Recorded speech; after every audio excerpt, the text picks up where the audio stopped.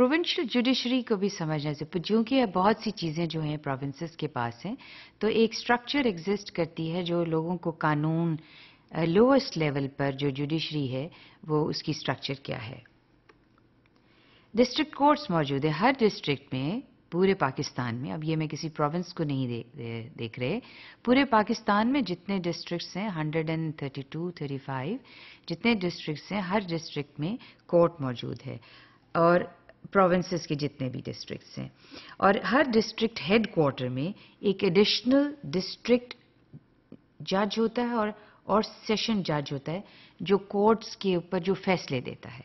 सो so, दो दो तरह के जजेज एक एडिशनल डिस्ट्रिक्ट जज है और एक सेशन जजेज जो हैं जो प्रिजाइड करते हैं।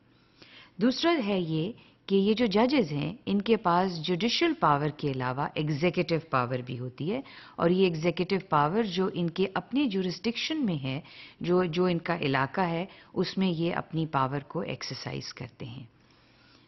जुडिशरी प्रोविंशियल जो है सेशन कोर्ट्स हैं। जो सेशन कोर्ट्स हैं, वो किस तरह के cases murder rape arm robbery ये इस तरह के सिविल केसेस जो हैं, उनको डील करते हैं उसके साथ। इसमें ये सेशन कोर्ट के ज़िम्मेदारी है।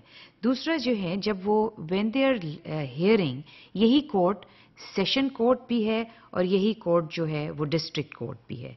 तो जब वो डिस्ट्रिक्ट कोर्ट सिविल केसेस से डील करते हैं तो it is a district court right the same court जब वो सिविल केसेस से डील करते हैं तो it becomes a district court और जब वो क्रिमिनल केसेस से डील करते हैं it becomes a session court so session court जो है वो क्रिमिनल केसेस से डील करते हैं और सिविल केस केसेस से जो हैं वो डील uh, करते हैं डिस्ट्रिक्ट कोर्ट्स सो डिपेंड करता है what is the nature of the case that is being dealt by the court and therefore its uh, nomenclature changes accordingly.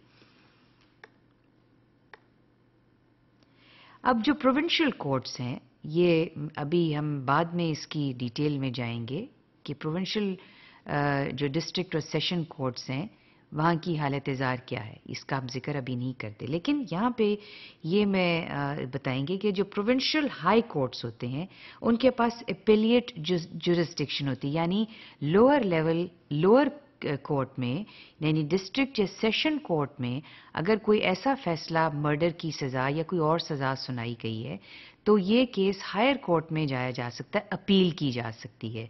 यानी जो पार्टी है aggrieved party they can take their court case to the higher court for appeal कि इस case पे जो फैसला lower court ने दिया है हायर कोर्ट इसको रिवाइज करे इसको रिव्यू करे और इसको एक नए तरीके से देख के अपना फैसला दे। सो हायर कोर्ट के पा, पास एपेलिएट अथॉरिटी होती है ऑफ़ द लोअर कोर्ट और जो सुप्रीम कोर्ट है वो उसके पास अथॉरिटी है ऑफ द प्रोविंशियल कोर्ट्स के दे the matter if the decision if the aggrieved party uh, thinks that the decision the verdict given by the lower court that is the high court uh, is is not uh, you know reasonable or sound or is not according to the law or they, they are being um, not listened properly they can go back they can go they can take their appeal to the supreme court so Supreme Court के पास जो है, वो एक appellate jurisdiction है over over the high court